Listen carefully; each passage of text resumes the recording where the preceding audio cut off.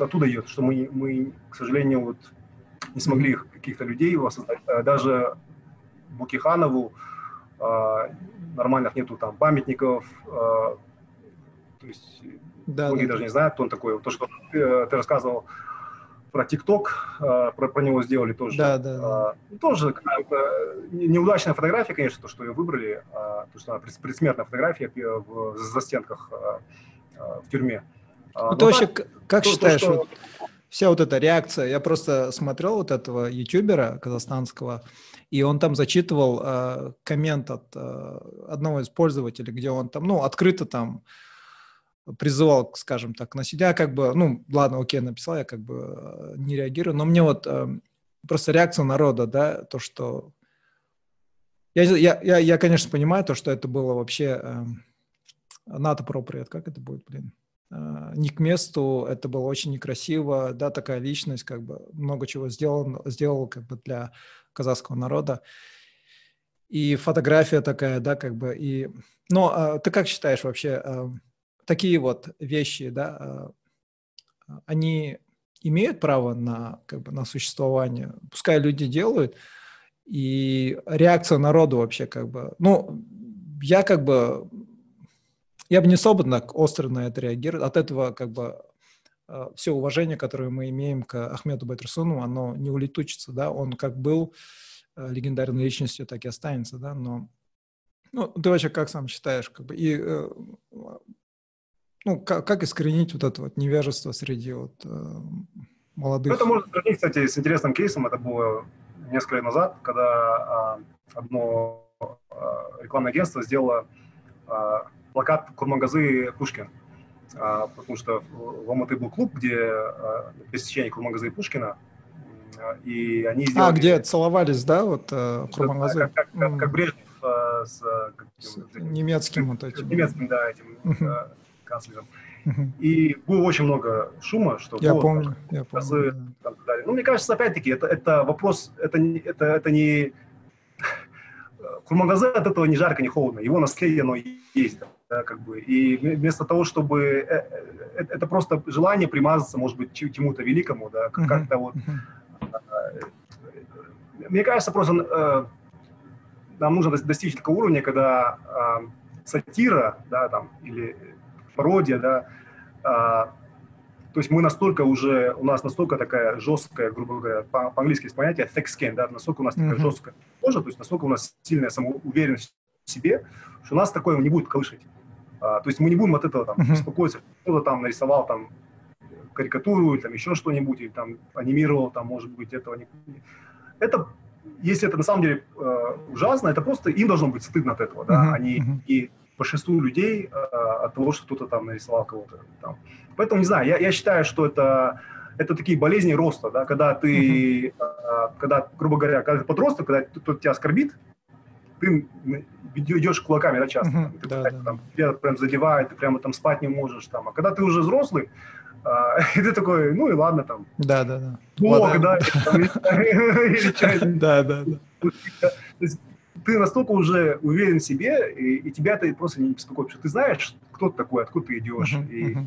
Мне кажется, а, мы к этому придем, а, и это нормально, что это, такие разговоры происходят, и мне кажется, знаешь, это сейчас вот э, такие, такая вот, вот эта вот ситуация, это очень хороший шанс для э, людей, которые как бы в образовательной сфере тусуются, или же люди, которые, ну, ищут, да, какой бы контент сделать, вот начать вот и начать заниматься просветительской деятельностью, да, как бы, как бы revival, да, такой сделать, как бы оживить обратно вот Ахмета Байтурсыну, Абай, вот про них начать рассказывать, какое, какое они как бы влияние, да, оказали, их influence какой, не только в рамках школьного, да, а именно вот начинать вот такие инстаграм-странички там или Facebook какие-то группы или на YouTube, да, вести. Мне кажется, это вот, вот э, знаешь, вот, я, я не знаю, это, поправь меня, если я ошибаюсь, но мне кажется то, что я просто видел у некоторых иностранцев, которые говорили то, что после просмотра фильма «Бурат» они так начали интересоваться вообще Казахстаном и открыли для себя Казахстан, какой он есть на самом деле, да, и,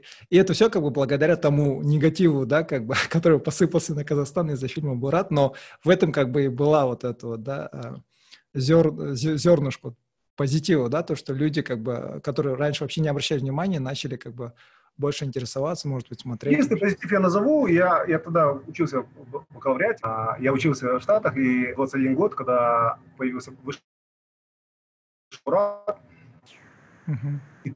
до Бурата, люди сразу у было через год после войны в Ираке, через э, 5 лет после э, атак 9 11 сентября, и у людей было какое-то такое напряжение ко всему, что заканчивал Настан. После Бурата люди хихикали или просто улыбались. И был какой-то реально шаг э, из этого хихикания, улыбки как-то уже их образовать, сказать, да, ну, ну этот фильм не был снят э, в Казахстане, он был снят в Румынии, в то время как до этого, просто когда у людей такая напряженная реакция, тяжело пробиться вообще, потому что уже mm-hmm. тебе какое-то негативное да, отношение да. есть. А, но а, у нас недавно с подругой был на, на тему разговор, а, я а, увидел а, пресс-релиз а, некоммерческой организации, которая а, занимается а, а, летним лагерем для детей из Казахстана, которые были удочерены и установлены в США. Mm-hmm. То есть э, наши дети э, из Казахстана. И эти дети э, в школе над ними издевались, их школьники, что вот, ты там проститутка, там вот, там ты типа там пьешь там мочу, там, понимаешь, mm-hmm. у детей они, они, у них была травма, что э, да, они да, сами да. про проститутуру ничего не знают, потому что они выросли в США.